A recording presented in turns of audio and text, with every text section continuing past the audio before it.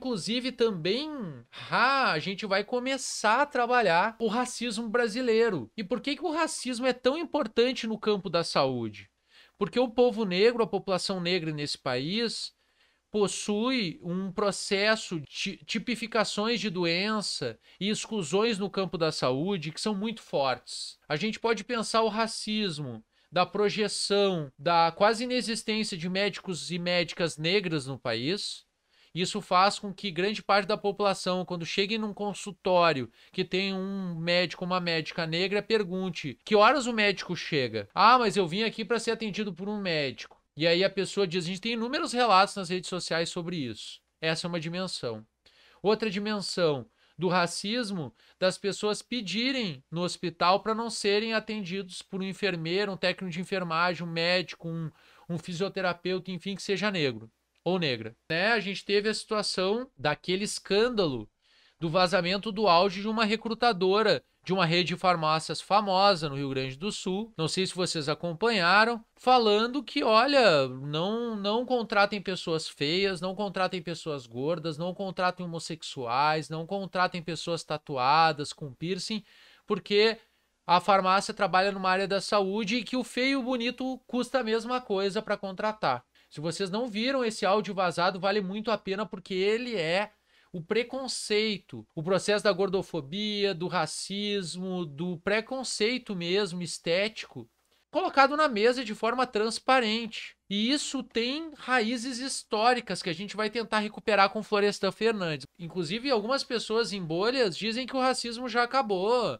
que a escravidão acabou, então a gente não precisaria mais discutir sobre isso. Aí tem uma dimensão muito interessante, né? Por quê? Porque até a publicação de Florestan Fernandes, onde ele vai escrever a inclusão do negro na sociedade de classes, e o título, se fosse já dando spoiler do conteúdo da obra, é a não inclusão do negro na sociedade de classes, porque é efetivamente isso que ele vai narrar. Até a publicação dessa obra, o que, que a gente tinha no Brasil?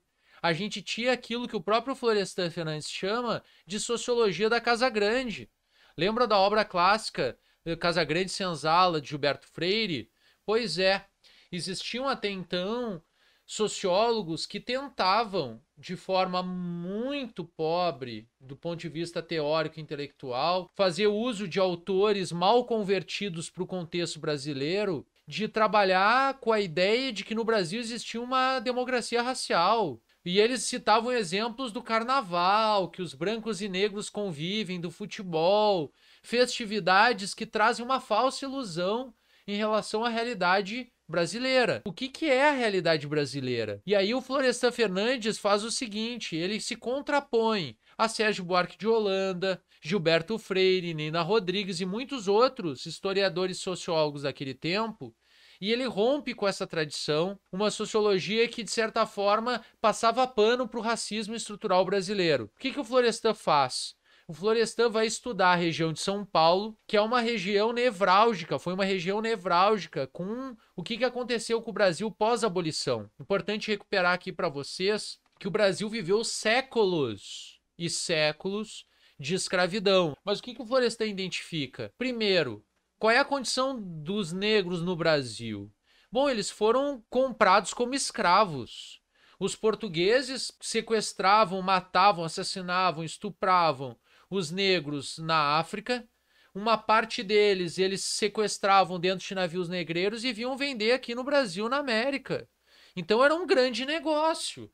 Tu só gastava para ir até o país e em guerra tu destruía aquela nação e colocava a população dentro de navios para vender como produtos no Brasil, o Brasil, que era colônia de Portugal, aceitava esse modelo produtivo escravocrata. Então, muito das riquezas que foram acumulados naquele período e ainda os dias de hoje tem muito sangue do povo negro espalhado no chão que deu luz a dinheiro concentrado na mão de poucos que, que a gente tem de característica do povo negro brasileiro? Eles não vieram para cá por migração, eles vieram aqui como escravos.